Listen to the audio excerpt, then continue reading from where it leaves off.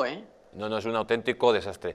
Y ya una, una última pregunta. eh, Dime, Ángel. eh, eh, la pregunta sería la siguiente. Isabel Ayuso puede acabar, pues de hecho ya puede acabar con el señor Iglesias, porque el señor Iglesias, según todos los indicios, no va a recoger su acta de diputado en el Parlamento de Madrid. Y Mm. puede ser, digamos, ese- esa vanguardia definitiva que acabe con, con Sánchez y por fin acabemos con esta pesadilla.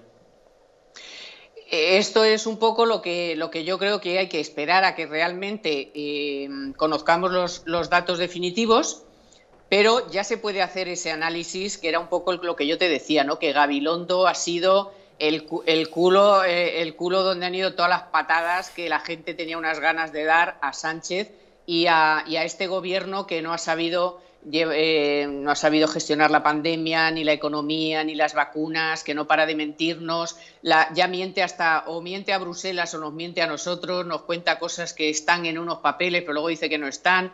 Eh, es que ya la gente, de verdad, o sea, como hay las próximas elecciones, yo, desde luego, creo que va a ser, eh, vamos, un, un avance del centro derecha que lo de Madrid se va a quedar corto porque la gente está muy harta de este, de este gobierno, pero sobre todo por lo mal, eh, porque es que no, no saben gestionar, eh, han arruinado la economía, no son capaces de reconocer ni los muertos de la pandemia.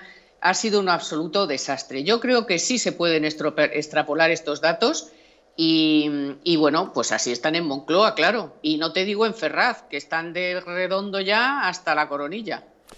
Carmen, muchísimas gracias por Venga, haber estado con noche. nosotros y luego brindaremos con, Vale. con